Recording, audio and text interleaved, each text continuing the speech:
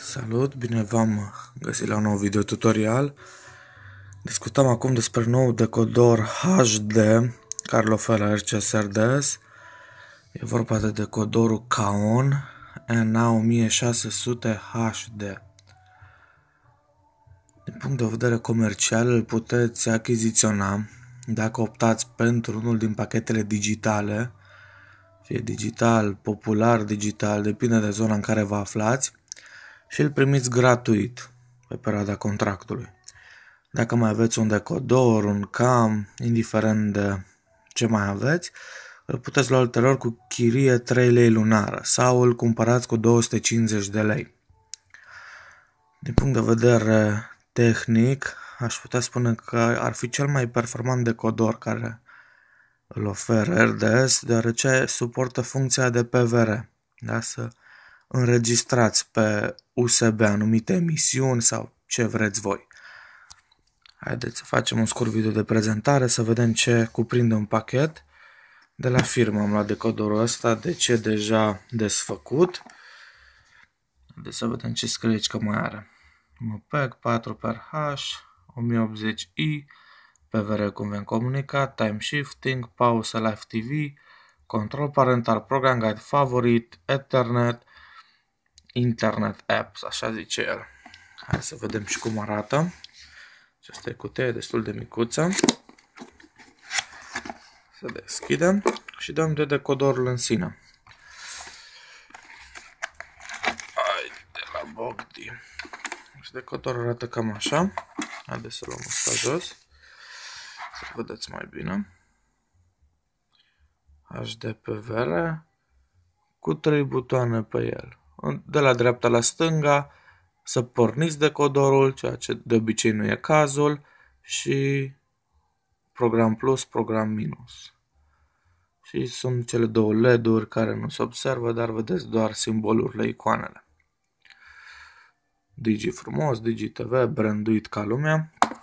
Este un decodor foarte mic în comparație cu mâna, cu palma mea, e cât palma mea, ca să o faceți o impresie, nu ca și celelalte, că se ocupa, cred că, tot antebrațul.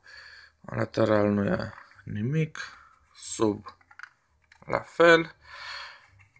În spate, hai să vedem ce are. În partea stângă, ANTIN înseamnă, aici introduceți cablul de televiziune care vine de afară, fie din casa scării sau de pe stâlp. Deci cablul de TV, cablul de antenă, cum știți voi, se introduce aici. Are conectică RCA, cablurile de culori diferite, dar nu prea o să vă intereseze asta, fiind decodor HD ca să vă bucurați la calitate HD, trebuie să introduceți H- cablul HDMI. Da, deci asta, HDMI. Tot aici aveți un port RJ45 pentru internet. Încă nu mi-am dat seama la ce bun îi să-ți conectezi asta la internet. Posibil să ai aplicații pentru el, dar o să mă documentez. Avem portul USB și portul de curent evident. Scoatem și cartela. Vine și cu cartela Digi, frumos branduită. O mențiune foarte importantă, în comparație cu restul decodoarelor, la ăsta cardul se introduce fix invers, cu chipul în sus și înainte. La restul decodoarelor care le oferă RD se introduce așa, cu chipul în jos și înainte. Ei bine, este mai șmecher puțin și introducem cu chipul în sus înainte și este cam, ca și celelalte, cam un centimetru, doi afară. Da? Este introdus. Încă un lucru destul de important, uh, când sunați la RDS, în cazuri extreme, vă sunt solicitate datele de pe echipamente. Seria decodorului, seria cartelei. Unde le găsiți? Seria cartelei, scoateți frumos cartela și este sub codul de bară. Acela 20423, așa, de seria asta o veți spune. Introducem înapoi cartela. Să vrea să intre numai. Și seria decodorului este aici deasupra primului cod, de, sub de fapt primul cod de bare. KI1, C1 și așa mai departe.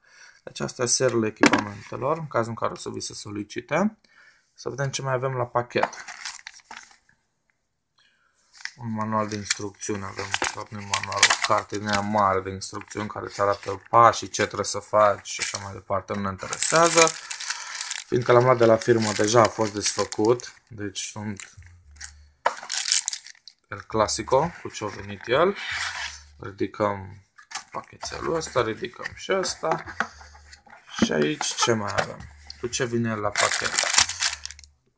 Cablu HDMI, da? Deci vă este oferit. La câte văd eu, cam de un metru e cablul ăsta. Telecomanda. Telecomanda lui arată cam așa. Arată destul de frumos în comparație cu altele ce oferă RDS-ul. Evident branduite și asta. E micuță, stă bine în mână, e ok. Avem cablu RCA. Folosiți în măsură extremă, deși n-aș vedea rostul să vă luați decodorul ăsta și să faceți conectică prin RCA, dar na, sunt oameni și oameni, nu? Prostie și adaptor.